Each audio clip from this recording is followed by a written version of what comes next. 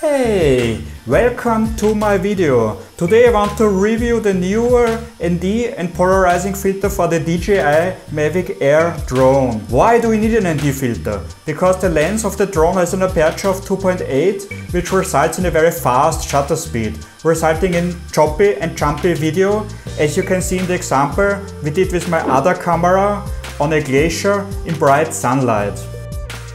When you put the filter on the drone, it acts like sunglasses, increasing the shutter speed and introducing motion blur, making the footage look more cinematic and professional.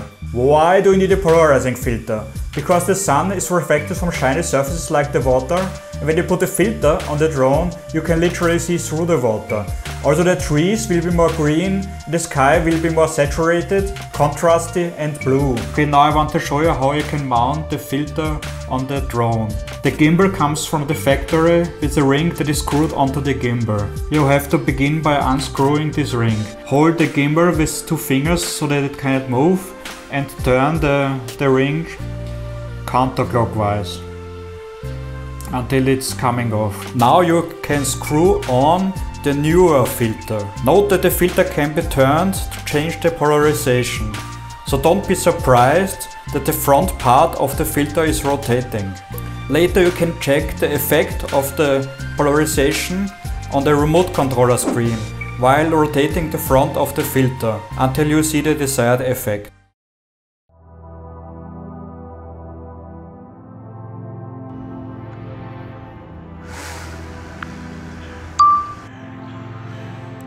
Takeoff.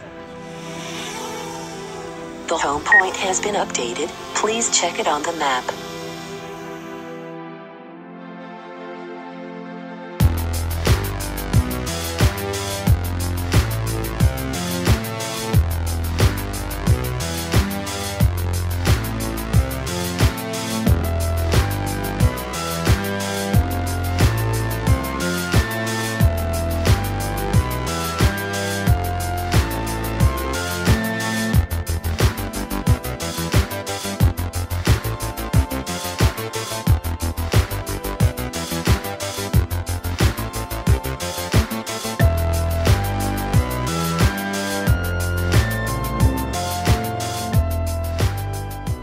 What is my conclusion of the Neewer ND and polarizing filter?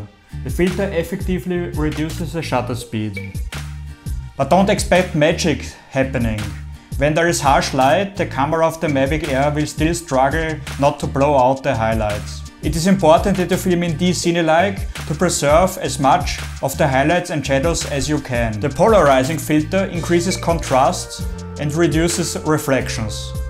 This can be a desired effect when you want to see through water and other surfaces. It takes away reflections from trees, etc.